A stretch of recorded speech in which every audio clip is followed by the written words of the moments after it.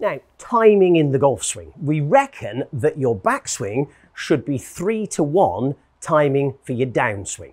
Okay, so let me explain. What that means is the swinging of the club up to the top of the backswing should take three times as long as the coming down.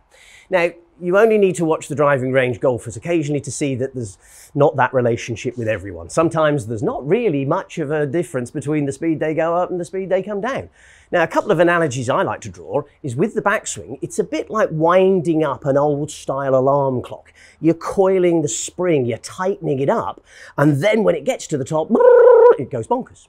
It's also very similar to driving a, a, car up to a set of red lights where there's a line of traffic. If you go fast, you're going to have to stop.